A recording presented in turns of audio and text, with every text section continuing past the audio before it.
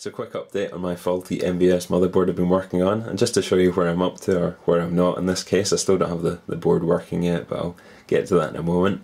So quick word of warning, if you're not interested in listening to me ramble on about faulty old electronics for about 10 minutes then you're probably not going to find this video too appealing so just bear that in mind, you have been warned. But what I'll do is I'll quickly show you my setup here first and then I'll talk a bit about the, the board. But this is the, the JAMMA harness I, I bought here and it's been modified slightly to work with the, the MVS board here. And again, thanks to Luke for all the, the info and tips on getting this uh, rigged up. Really appreciate that. And also thanks to everyone that left comments and advice in the, the last video I did. I really appreciate that. I got tons of useful feedback and, and info from that. So yeah, got the, the harness all wired up here and I've basically split it into two sections here. So I've got all the uh, this big loom here. This is all for the, the controls, and over here I've got power and video. So quickly show you how this is hooked up. I made a special Molex connector for this, just a kind of custom thing, so it'd be easy to plug into my power supply, which I'll show you in just a moment. So on this I've got my plus 5, negative 5, ground and uh, 12 volts. So that's all hooked up to the, the harness here. Over here I've got my RGB SCART cable. That's what that looks like for anyone that's wondering. That's the kind of standard we have here in the, the UK, or at least we used to anyway. So that's your RGB SCART and that's all hooked up here. I've got the uh, red, green and blue and um, I think it's a 12 volts and a sync cable.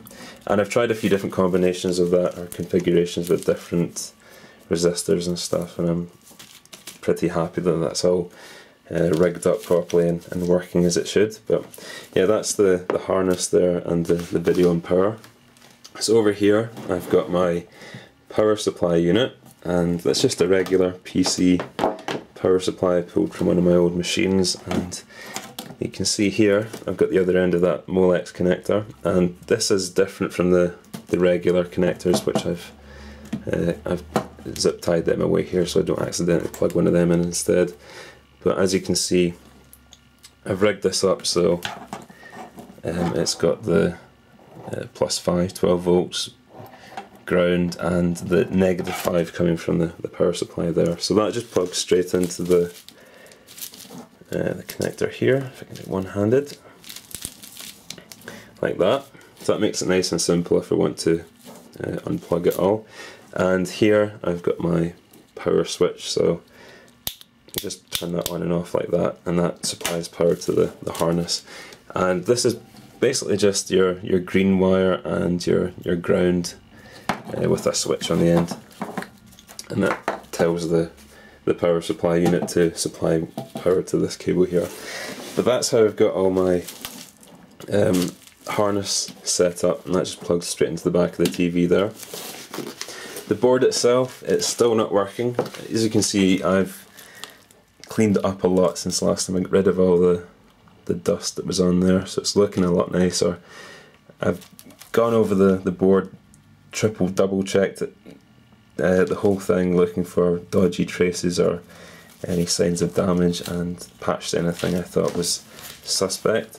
As you can see over here, I replaced the, the battery with a, a button cell and a button cell holder, like that.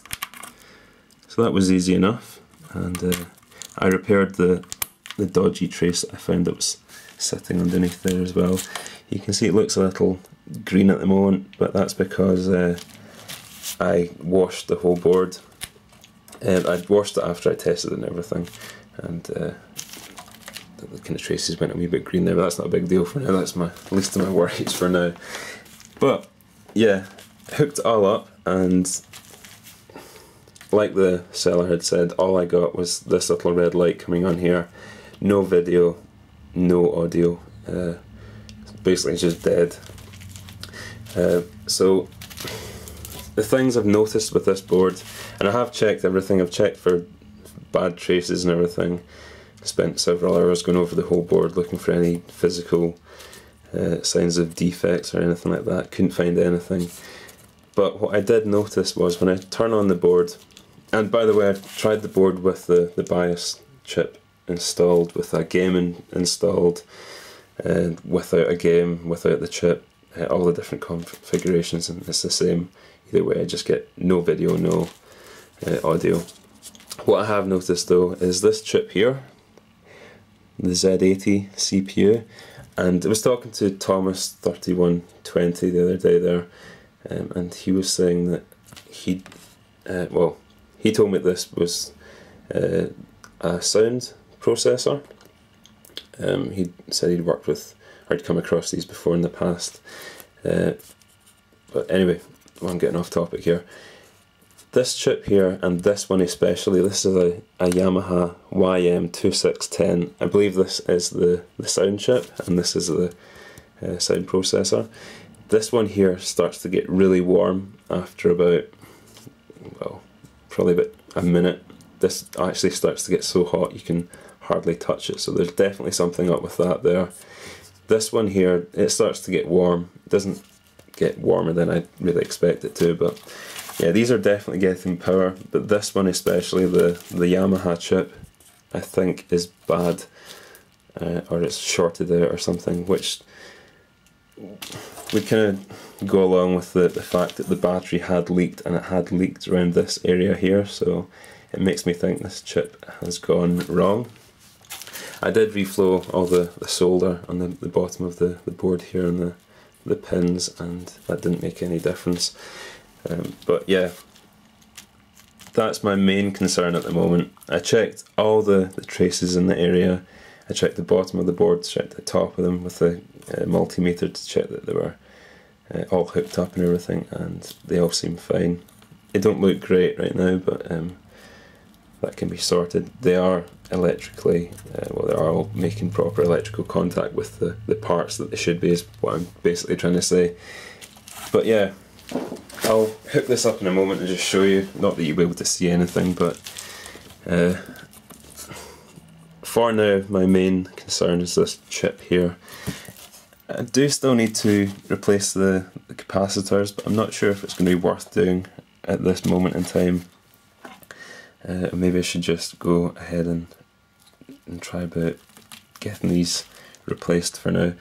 I don't think the, the Z80 chip here is too difficult to get hold of. I'm not too sure about the the Yamaha chip, um, but it's something to, to look into. But otherwise, that is where I'm at with the, the board. Um, yeah, not too sure where to take it from here. Should I replace the caps or should I go and straight up just try and replace that chip over there? Maybe someone can offer some advice, but yeah, what I'll do is I'll quickly hook it up and just show you what happens when I turn it on. So I've got everything hooked up now, got it all connected to the power supply, the, the JAMMA harness is connected to the board, and this is my power switch here, so if I turn it on, you're not going to be able to see anything, there's nothing on screen, only thing that happens here is the little LED comes on. I'm satisfied that my video connector is working fine, because if you look up here, when I turn the, the power on and off. It does switch to the the proper channel there, just there's nothing on the screen.